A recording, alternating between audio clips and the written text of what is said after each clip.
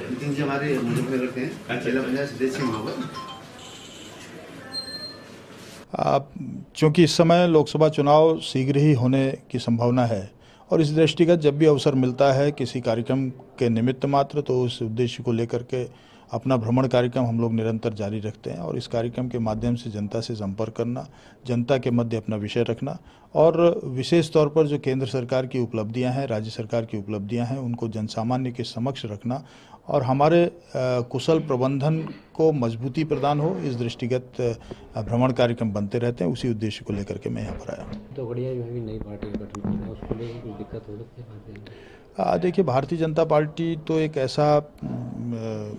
म, गंगा के समान पवित्र स्थल है जहाँ पर विभिन्न प्रकार की जलधाराएँ मिलती हैं और वो जलधाराएँ अपना अस्तित्व माँ गंगा के अंदर समाहित कर देती हैं। लेकिन जब गंगा जी से निकलने वाली जलधारा अपने उस गंगा जी को छोड़ करके जाती है तो उसका अस्तित्व अवश्यंभाई रूप से समाप्त होने की स्थिति में आ जाता है। इसलिए